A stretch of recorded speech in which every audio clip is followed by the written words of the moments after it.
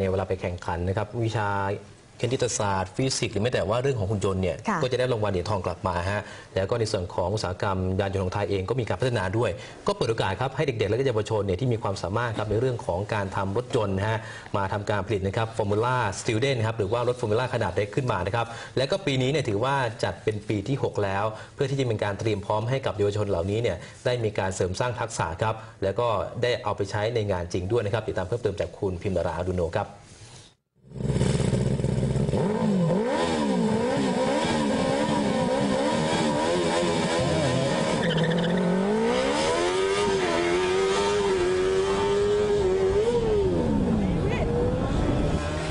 หมายเลข 2 จากสถาบันเทคโนโลยีไทยญี่ปุ่นกำลังเข้าแข่งขันสคิดแพดคือขับไม่ให้หลุดโค้ง ด้วยความเร็วมากที่สุด เพื่อทดสอบช่วงล่างของรถ station นี้พวกเขาได้ที่ 2 รองจากหมายเลข 8 คือมหาวิทยาลัยสยาม และยังเหลืออีก3 station ให้แข่งขัน โดยหวังว่าจะติดอันดับ 1 ใน 5 ของการแข่งขันทั้งหมด 24 ทีมให้ได้ ซึ่งหมายเลข 2 ก็หมายถึงอันดับที่ 2 เมื่อปีที่แล้ว นักศึกษากว่า 20 คนมารวมตัวกันทุ่มเทการทำงานเพื่อรถ Student Formula 1 คัน ซึ่งใช้เวลาในการสร้างรถไม่เกิน 1 ปี โดยฝีมือของนักศึกษาเอง ไม่ว่าจะเป็นการออกแบบดีไซน์รถ ไปจนถึงการประกอบส่วนต่างๆ เข้าด้วยกันให้เป็นรถสมบูรณ์แบบที่พร้อมลงสนามแข่ง ส่วนตัวนักแข่งก็ต้องฝึกซ้อมการขับรถ โดยทุกปีจะมีน้องใหม่มาร่วมแข่งรถ โดยได้รับการถ่ายทอดประสบการณ์จากรุ่นพี่ด้วย ผมก็จะช่วยแบบช่วยดูเป็นบางจุดบ้างเพราะก็เหมือนกับว่าคนขับ คนคนทำก็ไม่ได้ขับ ก็คนขับก็เลยต้องมาช่วยทำว่าเออมันมีตรงไหนที่ยังไม่ถูกใจเราก็ต้องมาบอกเขาแล้วก็ช่วยเขาแก้ครับให้มันโอเคที่สุด คิดว่ารถเราสมบูรณ์ก็ ประมาณ 95%นะครับ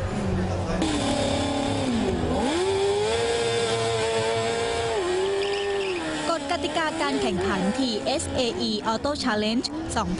2011-12 Student Formula ปีนี้ยังคงยึดกติกาสากล แต่นักศึกษาต่างบอกว่าเข้มงวดขึ้นกว่าเดิม ทั้งการทดสอบความปลอดภัยของตัวรถ หรือ Inspection การนำเสนอรถที่รวมการออกแบบ และความคุ้มค่าของงบประมาณที่ใช้ เพื่อทดสอบการวางแผนในเชิงธุรกิจ เพื่อใช้ในการทำงานจริงในอนาคตด้วย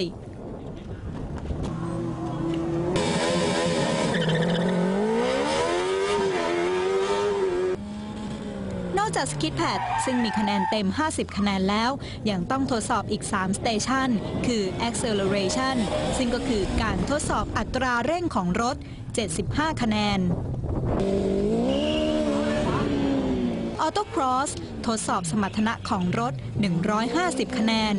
โดยแต่ละ station ใช้คนขับ 2 คน ขับคนละ 2 ครั้งนำเวลาที่ดีที่สุดมาคำนวณคะแนน Autocross นี้เป็นอีก station ที่มหาวิทยาลัยสยามหมายเลข 8 ได้คะแนนสูงสุด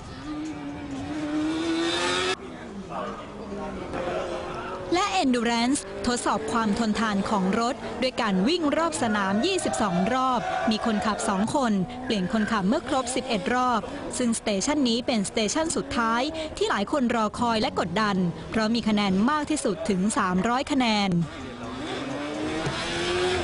รวมคะแนทั้งหมดแล้วผู้ที่คว้ารางวัลชนะเลิศในครั้งนี้หนีไม่พ้นทีม Exceed AE หมายเลข 8 จากมหาวิทยาลัยสยาม ซึ่งแม้ว่าปีที่แล้วพวกเขาจะไม่ติดอันดับ1ใน 3 แต่พวกเขาก็หาทุนจากมหาวิทยาลัย และบริษัทเอกชนไปร่วมแข่งขันที่ประเทศญี่ปุ่น ได้อันดับที่ 18 จากทั้งหมด 84 ทีม และนำประสบการณ์ครั้งนั้นมาปรับปรุงพัฒนารถ จนคว้ารางวัลชนะเลิศในครั้งนี้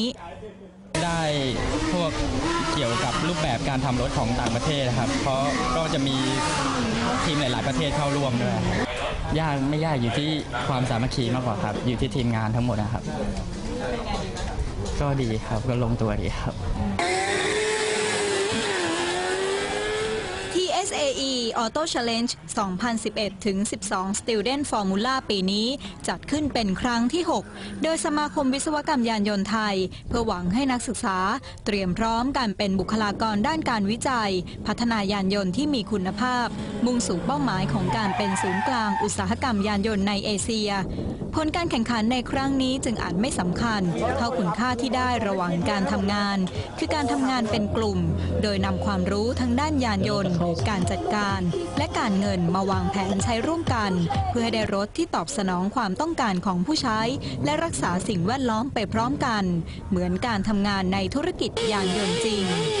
ทีมนาราอรุณโน